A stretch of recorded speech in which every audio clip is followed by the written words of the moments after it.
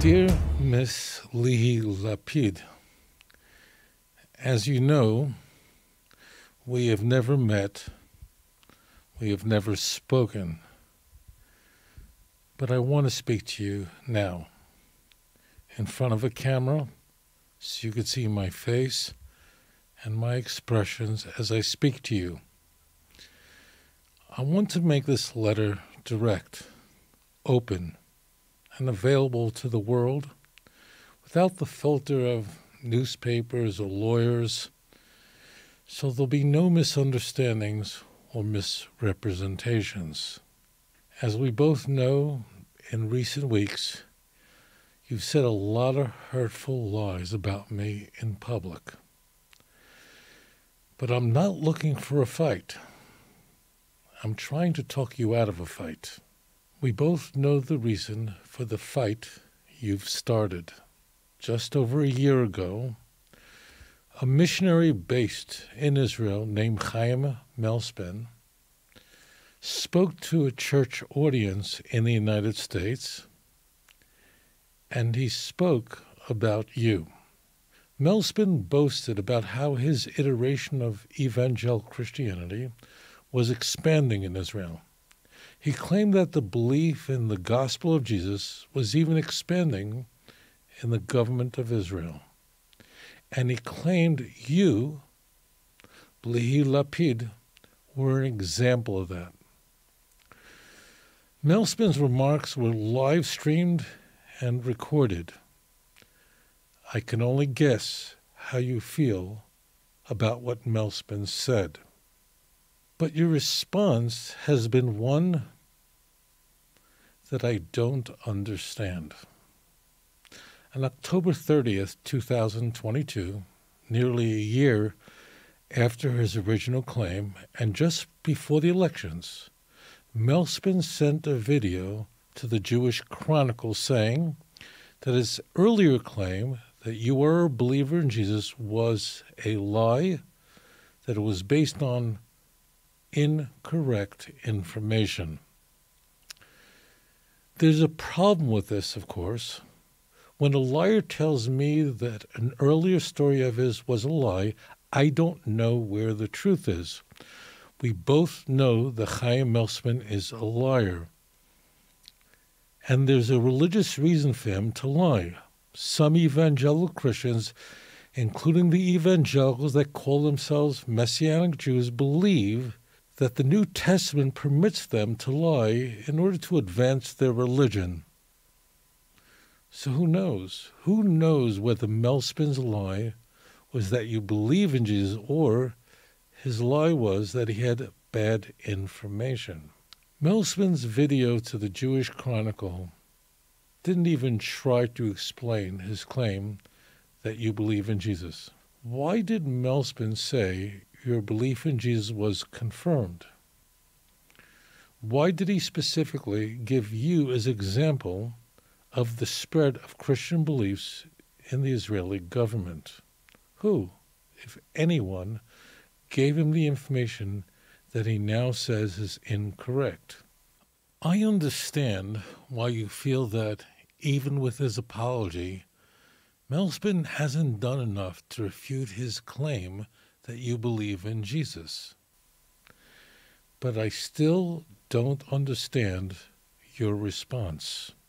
You didn't sue Melspin for defamation. You didn't write negative Facebook or Instagram posts about him. You didn't threaten him in public to force him to do more to discredit his original claim that you were a believer in Jesus. You didn't go after the person that Melspin says supplied him with incorrect information. You went after me. You went after me for accurately reporting what Melspin said. The video of Melspin's speech was posted by the church where he spoke. It was available on the internet until mid November last month. That's a year people started noticing Melspin's claim about you several months ago.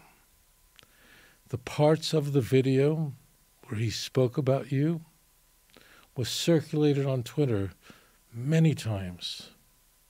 Melspin's claim was covered in the media. All this before I said anything about Melspin's claim.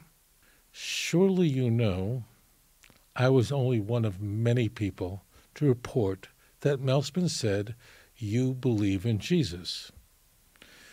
Surely you know that I showed Melspin's apology only hours after he made it, while accurately reporting his claim that you believe in Jesus.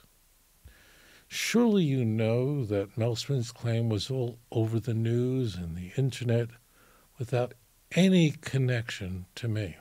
But you targeted me, specifically me, only me. I don't understand why. There's something else I don't understand about your response. Chaim Melspin claimed that you believe in Jesus.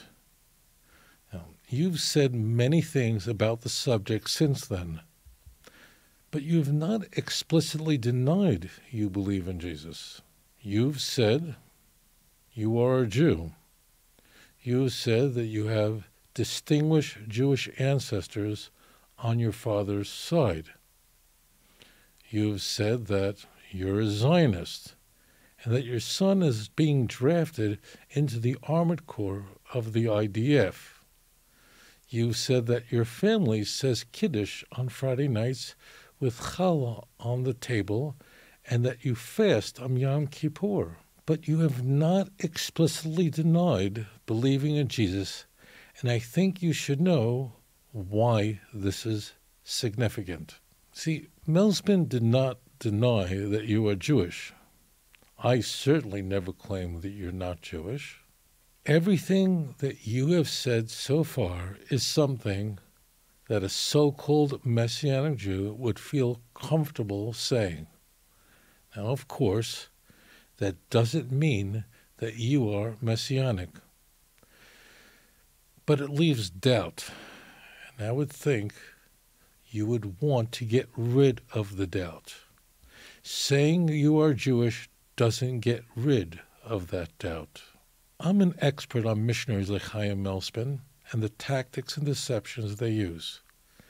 And despite all the lies you've told about me, despite you suing me, I would still be willing to go on air as a well known counter missionary rabbi to help get rid of that doubt.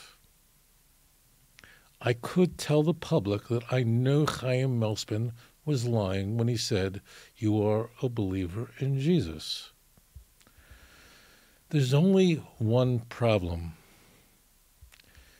Even under the threat of a lawsuit, I cannot lie for you.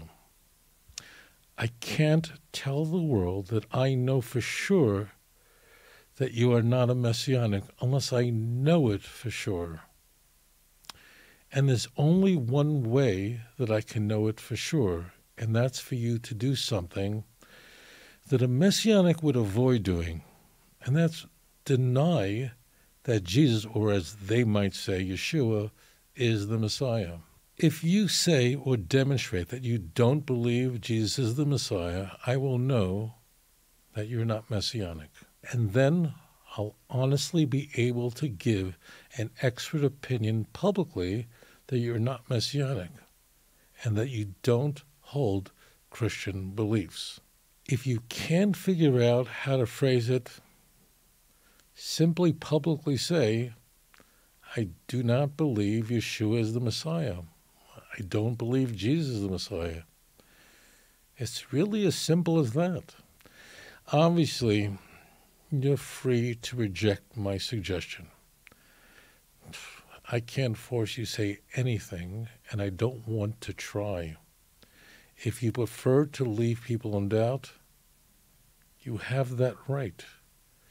If you don't want to deny Jesus, that's your right. Let me be clear. Israelis have many different religious beliefs. I'm not offering to help you change your religious beliefs. I'm just offering to help you explain to the public what those beliefs are, assuming it's important to you. I hope you understand it was wrong for you to lie about me and to attack me in public for things I did not do. I would like to believe that you know that you have an obligation to fix the damage you have caused me. Nonetheless, my offer is unconditional. Anyways, there's no need for us to fight about that right now. If you're willing to work with me, I'm sure we can find a way for me not only to help you, but for you to undo much of the damage you have done. Fights like this benefit no one. Let's work together.